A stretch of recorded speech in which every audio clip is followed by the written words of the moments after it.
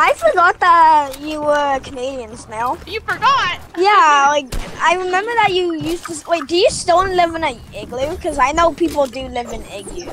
Igloo, igloo sorry. I, I do live in an igloo, yeah. I'm in an igloo cool. right now. Really?